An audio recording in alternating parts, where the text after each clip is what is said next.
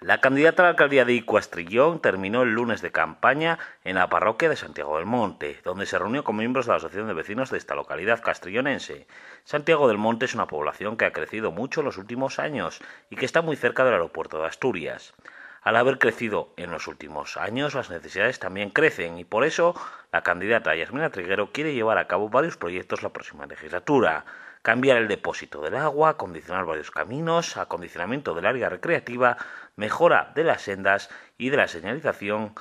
reparar una fuente y canalizar el agua en alguna cuneta. Son los proyectos para la próxima legislatura, aunque en muchos de ellos las competencias de Acualia y Confederación Hidrográfica del Norte interfieren en competencias municipales.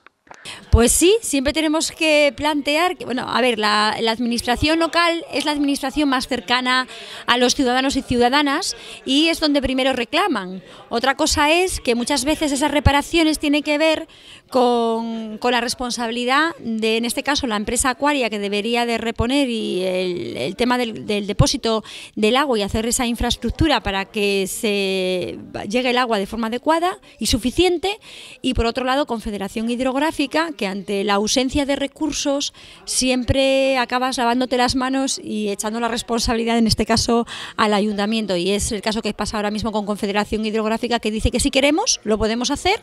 y si no, como ellos no tienen recursos, se quedan sin hacer.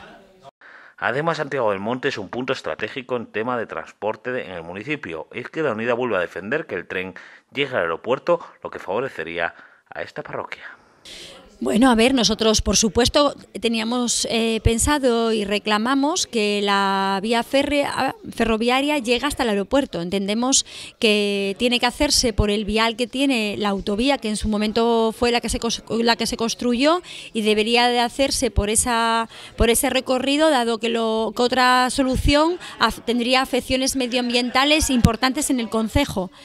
Eh, aún así y todo, eh, la realidad es que el Plan de Infraestructuras y Movilidad de Asturias plantea que ya no es necesario que llegue el ferrocarril hasta el aeropuerto y de hecho plantea que como va a haber la llegada del, AVE a Asturias, pues que con toda seguridad el tráfico aeroportuario va a descender, igual no es necesario que llegue el tren aquí, pero nosotros seguimos insistiendo en la necesidad de que llegue. Pues a pesar de las dificultades y de la crisis, Izquierda confía en poder llevar estos proyectos a cabo la próxima legislatura después del 24M.